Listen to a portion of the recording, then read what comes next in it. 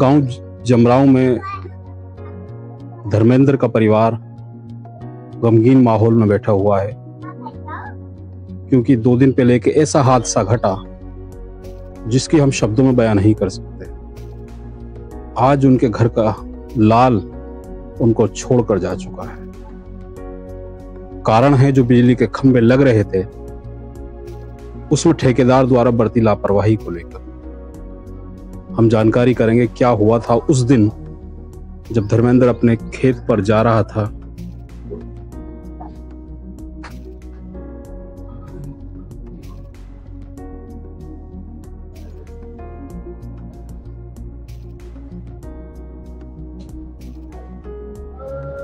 पत्नी काजल बिलाप कर रही है इंतज़ार कर रही थी पति का आने का, लेकिन पता नहीं था कि ऐसी खबर आएगी कि वो पल ये वो हादसे हैं जिनकी भरपाई तो नहीं कर सकते, लेकिन भगवान से ये ज़रूर कह सकते हैं कि इनकी दुख की जो भरपाई है वो जल्द हो। पत्नी काजल, जो कि मात्र अभी एक वर्ष ही हुआ है शादी को लगभग, और सब ढांढस बाँध रहे हैं उनका परिवार के लोग, पत्नी का।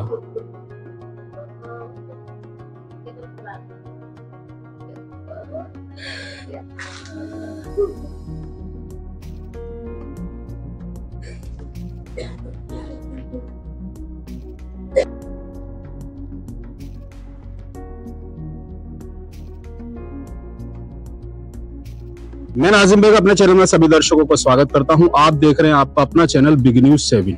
मेरे साथ निरंतर बने रहिए, क्योंकि मैं गाँव जमराव में मौजूद हूँ, जहांगीराबाद कोतवाली क्षेत्र उस घर में मौजूद हूँ, जहाँ एक ऐसा हादसा घटा जिसकी हम शब्दों में बयान नहीं कर सकते। हंसता खेलते परिवार उस गमगीन माहौल में तब्दील हो गया पल भर में, जिसकी किसी को उम्मीद नहीं थी। मैं बताता चलूँ, धर्मेंद्र इसी परिवार से ताल्लुक रखता और जैसे रोज़ाना जाया करता था, वो खेतों में पानी लगाने अपने खेत पर जा रहा था। लेकिन जो विद्युत पोल का काम चल रहा है, ठेकेदार द्वारा, उसमें जो खंबा लगाया गया था, वो शायद लग नहीं पाया था क्या कारण था जिसकी चपेट में आकर धर्मेंद्र की जान चली गई। तो चले मेरे साथ हम उसके पिताजी से बात कराते क्या घटना हुई थी और क्या क्या मांग है उनकी ये भी पूछेंगे उनसे। चले मेरे साथ। मेरे साथ धर्मेंद्र के पिताजी हैं। क्या नाम लिखते हैं बाबूजी आप? श्यामलाल। श्यामलाल जी क्या हुआ था उस दिन? हाँ, आज के भैया आए जी। वो को लेके यहाँ से उठा के हम्म। वहाँ खम्मा लगा रहे हुए लोग। ठेकेदार। तो मैं बिजली पानी लगाने गए। हैं हमारा बिड्डो कुआ चला जा कुआ वाले ने हम्म, वे कुआ चला के खेत में पानी करके वे तो चले आए घर। मैं और मेरे भैया हमारे रोक रोक कर हम पाग जी के खम्मा लगा रहे। जी जी। मैंने कहा भैया खम्मा ऐसे लगाइयो किसी को नुकसान ना हो हमारा ना तुम्हारा। तो मैंने कह रहे बाबा सही ऐसे लगाऊँगे। तो मैं भी वहीं खड़ा भैया के दौरे हम्म, और भैया भी वहीं खड़ा हुआ। तो लापरवाही तो सड़क पे को खम्मा गिर गया धर्मेंद्र कौन से नंबर के बेटे थे? सबसे छोटा। सबसे छोटे थे घर हाँ। परिवार में। हाँ, खंबा उनके ऊपर गिर गया। उनके ऊपर गिरा था। पानी लगा रहे थे उस समय? बात समय पे तो पानी करके हम खेत में वो सड़क पे को आगे जिनके खम्मा लगा रहे अच्छा अच्छा। वो चपेट में आ गए। चपेट उसी की तरफ़ खम्बा गिर गया जिधर वो खड़े हम भी वो खेत के कोने पे खड़े हम। वाई वाई पे। धर्मेंद्र पे ही हाँ, सड़क पे पीछे।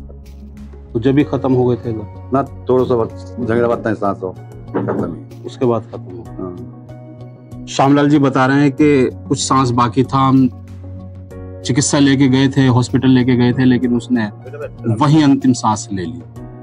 श्यामलाल बता रहे हैं कि बार बार हम ठेकेदार से कह रहे थे कि पोल को ठीक तरीके से गाड़ना या लगाना लेकिन उसकी लापरवाही यही थी वो हट धर्मी दिखा रहा था मन मर्ज़ी चला रहा था। वो कह रहा था हाँ ठीक लगाएँगे हम और हम तो ठीक ही लगाते हैं नुकसान तुम्हारा थोड़ा लेकिन ऐसी घटना घट गई इस परिवार का जो लाल था इस परिवार का जो दीपक था वो आज बुझ गया। कारण उस ठेकेदार की लापरवाही और उस ठेकेदार की मनमर्जी। के बड़े भाई हैं। हाँ। क्या हुआ था उस दिन? आप भी साथ थे शायद? मैं साथ नहीं था। पिताजी साथ साथ थे। बता रहे धर्मेंद्र की शादी अभी जल्दी हाँ फरवरी में फरवरी में हुई थी। फरवरी में हुई हाँ। फरवरी में शादी हुई थी और धर्मेंद्र की पत्नी। पंद्रह महीना होगा ब्याह। एक साल के लगभग हुआ हाँ। जिस पत्नी ने अपनी आँखों में जीवन भर के सपने संजोए थे शायद दोनों अलग हुए क्योंकि धर्मेंद्र अब छोड़ के जा चुका है। परेशान है परिवार मांग करता है न्याय की मांग करता है उस कानून शासन से क्या चाहते हैं आप? कानून प्रशासन अभी ठेकेदार की सुनवाई कुछ नहीं हो रही। कानून से मांग करते हैं कि आप न्याय मिले आपको। हाँ जी उस न्याय कठोर कार्रवाई भी हो। हाँ कार्रवाई होनी चाहिए।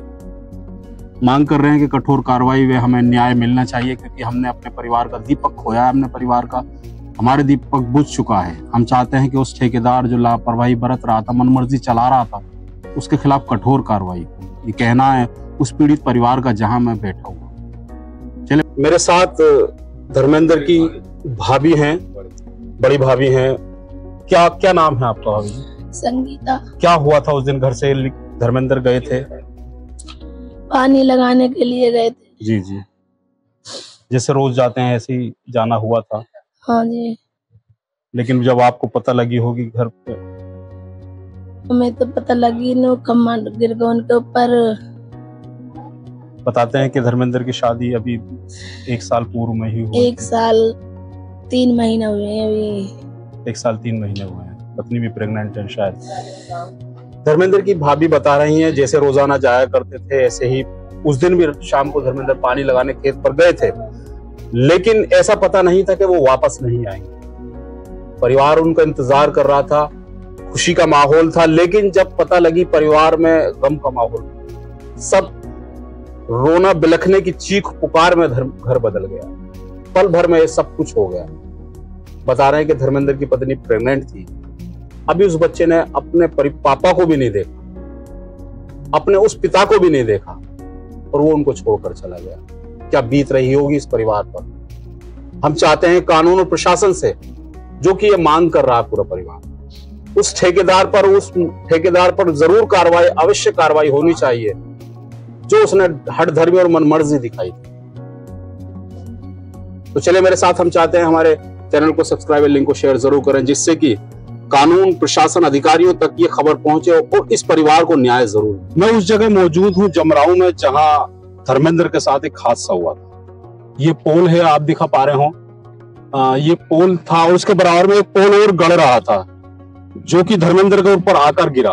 बार बार ठेकेदार से लोग कह रहे थे कि आप जो सही तरीके से इसको गाड़िए क्योंकि रास्ते का मामला है लेकिन वो हठधर्मी और मनमर्जी चला रहा था जिसके कारण एक हादसा आ, पिताजी मौजूद थे उस समय भी जब से ये हादसा घटा था। क्या बाबूजी आप मौजूद थे जब हाँ, ये मैं खंबा मैं गड़ रहा था? मौजूद चार साढ़े चार का वक्त था हाँ, एक खंबा तो गड़ चुका था हाँ ये गड़गा या दूसरे ला रहे उठा के आपका खेत यही है सामने वाला? ये कहते सामने वाला मक्का वाला। हाँ, हाँ।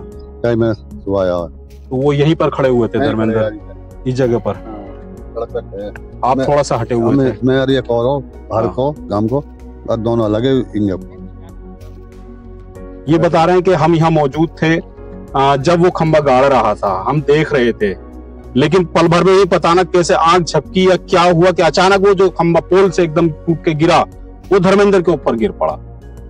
इतनी तेज और इतनी रफ्तार से गिरा कि धर्मेंद्र में कुछ ही साँसें बाकी थी, लेकिन हॉस्पिटल पहुँचते पहुँचते शायद उसकी जीवन लीला समाप्त हो गई थी।